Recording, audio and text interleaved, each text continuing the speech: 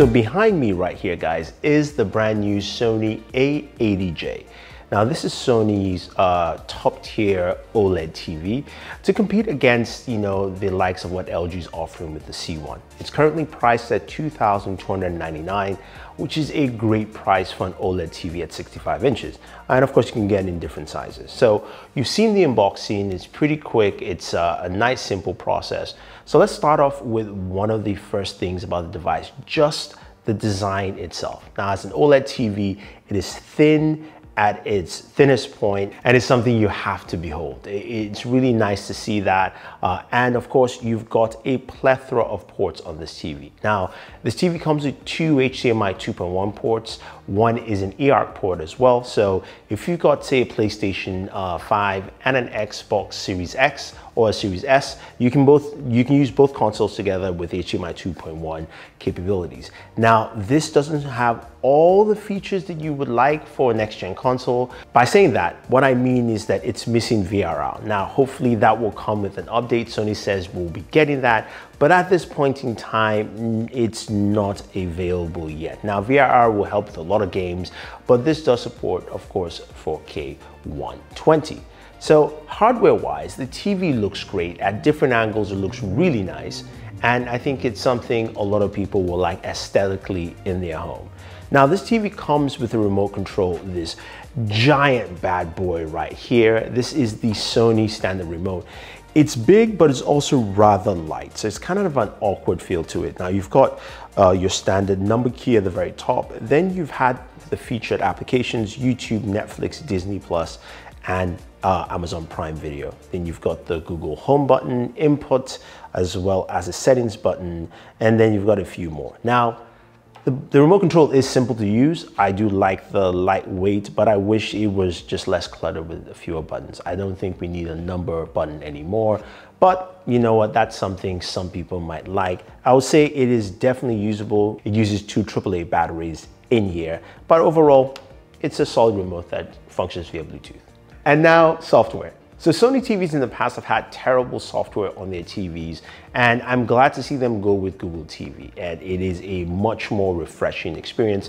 Uh, this is not to be confused with Android TV. It's a much newer uh, TV interface from Google, and on this device, it works really, really well. Now, there are some drawbacks to it, of course. Uh, it feels sometimes a little cluttered, especially if you have YouTube TV and all the different things it pulls in.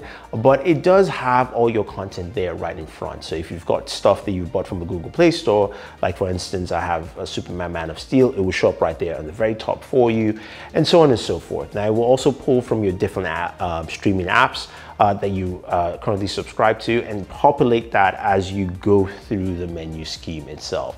In terms of the general menu for this, you've got quick menus that you can access through your remote via the input, which will take you to your last viewed apps and also your different inputs uh, that you have connected, as well as also your settings where you have a quick settings menu that pops up, giving the ability to, to uh, change your picture modes between cinema, video, vivid, and gaming uh, as well.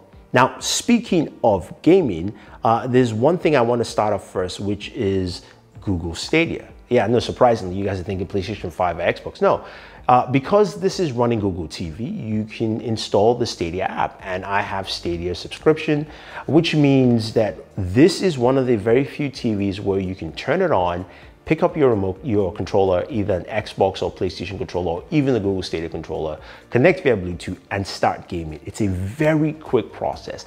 And I like that. It means that you don't have to buy a console. You can jump in, start playing something like Destiny, uh, Destiny 2 if you want to, uh, or even uh, Mortal Kombat as well. And tons of games on Stadia you can actually pick from. I'm really surprised to see that. And I actually might do a separate video for you guys on Stadia, um, you know, access on TVs, but it's really fun. Now, when it comes to the main gaming consoles, the PlayStation 5 and the Xbox Series X. They both, both look good. Uh, again, this TV is an OLED TV. It looks absolutely gorgeous.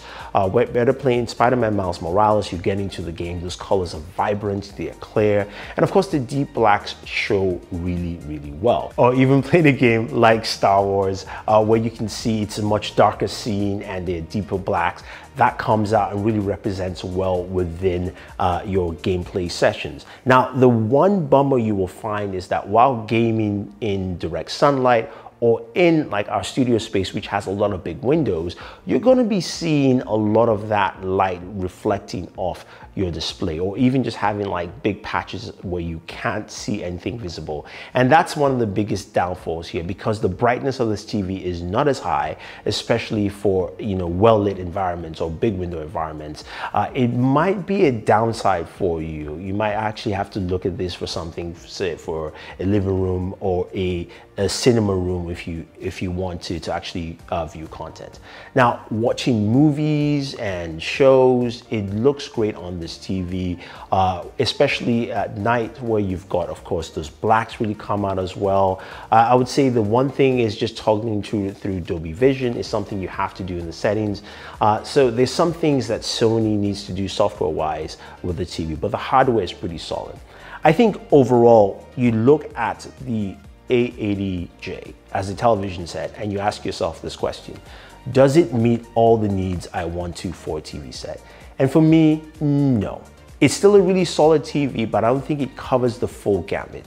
Number one, the brightness for me is rather low, especially when I'm watching in daytime or even game in the daytime. It really doesn't capture as much as I would like. And also the lack of VRR right now is something that is really important, especially for next gen gaming. So if you're thinking of picking up a PlayStation 5 or an Xbox, that is something that will, you have to you know bear into account. And again, this is a Sony TV, so I'm kind of kind of stunned that Sony actually hasn't included in this, especially since they make the PlayStation 5. But the inclusion of Google TV makes for a much smoother experience and also the ability to jump into Stadia again to me is really fun. Uh, audio volumes are good on the TV, uh, it sounds well, but of course you want to get a soundbar. But overall, this is a solid OLED, not a great OLED in my opinion. And I think um, there are some improvements that Sony can make, but at least this is a solid offering for someone who's looking for something out there.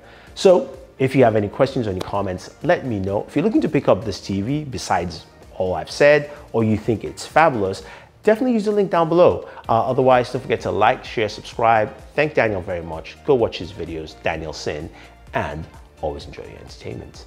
And he's going to Chicago.